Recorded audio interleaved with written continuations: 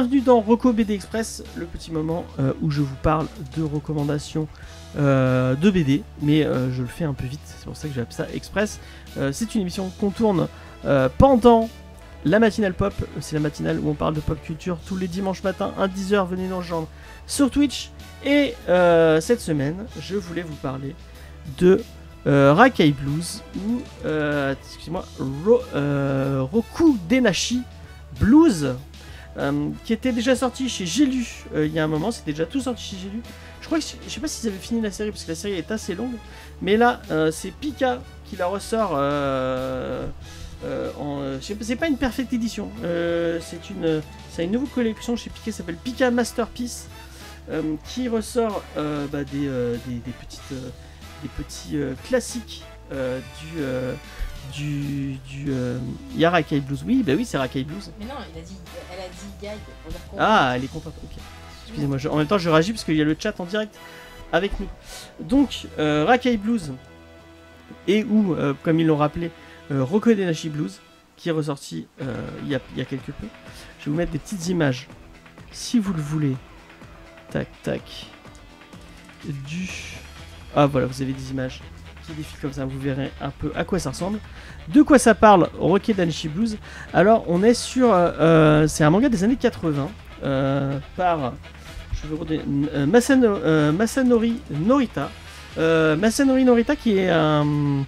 Qui, est, qui était l'assistant. c'est le mec qui faisait. Je sais plus si c'était le mec qui fait Okuto no Ken ou un autre mec. Enfin, un- vraiment un mangaka très très connu. Euh, D'ailleurs, de son, son style de dessin, vous le retrouvez. Et de quoi ça parle? Ça parle de Furio. Alors, moi, euh, j'en ai déjà parlé un peu euh, dans plusieurs émissions. euh, euh, moi, je suis très très fan de Furio. C'est un, genre de manga que, que j'aime beaucoup. Mais je vais peut-être le représenter euh, pour les gens qui ne sauraient pas ce que c'est, le Furio. Alors, le Furio, c'est un style de manga où euh, on suit euh, des lycéens, mais des lycéens un peu spéciaux. Ce sont. euh, bah, euh, le, le titre d'avant, c'était Rakai Blues. Mais c'est un peu ça. En fait, on suit euh, des, des délinquants. Parce que Rokedanashi, je crois, ça veut dire euh, bon à rien, je crois, ou un truc comme ça. Et euh, donc c'est un, espèce de... Il y a beaucoup de, personnages comme ça euh, dans les mangas. Euh, il y a vraiment... C'est un, archétype assez spécial que vous retrouvez plein de fois. Genre dans euh, Yu Yu au début, c'est le, mec, c'est un Furio. Euh, dans Slam Dunk, euh, le, le héros principal au début est un Furio. Euh, dans plein plein... je- Dans Shaman King, euh, un des héros principaux, c'est aussi un Furio. Euh, c'est vraiment un, un, ar- un archétype de personnage qu'on retrouve beaucoup dans la culture... euh, dans Crow, effectivement, Crow, c'est un super... euh, euh, Crow et Worst, euh, Josuke, effectivement, Josuke, euh, Josuke dans Jojo Bizarre Adventure, c'est aussi un furieux. Euh, c'est un archétype qu'on retrouve beaucoup, beaucoup dans la culture nippone. Et euh, il y a tout un pan euh, de la culture manga où on suit ces personnages, des personnages comme ça. Donc c'est des gens qui, vont, qui vont au lycée mais qui foutent le bordel, qui se tapent dessus, qui... on- ça pourrait pas... pour se foutre de ma gueule, euh, comment il s'appelle euh, Vincent disait Ah, euh, tu, te faisais bully au- quand tu étais au collège et au lycée, et maintenant tu dis des histoires où, où les héros ce sont des mecs qui bully. Mais c'est pas vraiment ça en fait. C'est vraiment un esprit de. en fait, la, société japonaise elle est tellement dure, elle est tellement compliquée qu'il y a forcément un moment où tu as un pan de, de- de- des gens qui vivent dans ces sociétés qui ont besoin de s'extérioriser et de, sentir une, certaine forme, de liberté. Et c'est un peu ça qu'on ressent dans ce. C'est vraiment des gens euh, qui, euh, qui sont. C'est des gentils racailles. C'est. Ouais, non, je sais. En vrai, j'aimerais pas être dans leur lycée hein, parce que tu. Il y a beaucoup de bastons, il y a beaucoup de. C'est. Mais c'est vraiment un, côté. On sent le, le besoin de liberté et moi je trouve ça, je trouve ça assez cool. C'est un truc. euh, Il y a un, côté besoin de liberté, euh, amitié virile. euh, euh, espèce de passion au travers de la baston et autour de... C'est compliqué à expliquer, mais je pense qu'en en le lisant, vous vous rendez compte. Et là, on, vra- on vraiment, on est sur du classique classique du, du, manga Furio. J'ai l'impression que ça pose pas mal de bases par rapport à ce que vous lisez après, parce que c'est un, un, un bouquin qui, a, qui, est un petit peu vieux maintenant.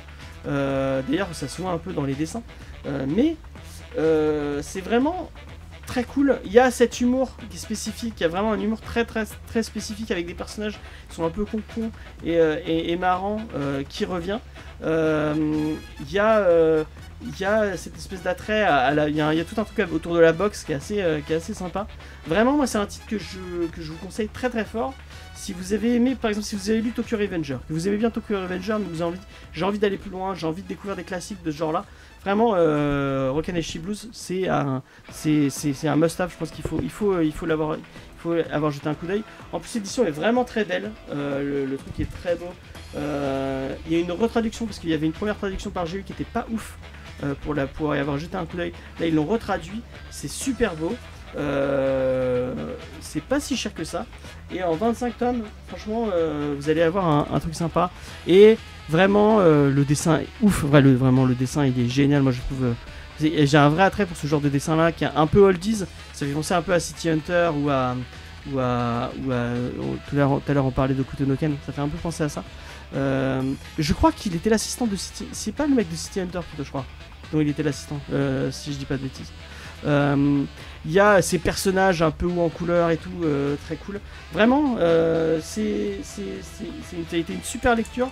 J'ai euh, lu ça d'une traite, j'ai trouvé ça super cool. Euh, Ojo, on me dit, euh, oui, ça doit être ça.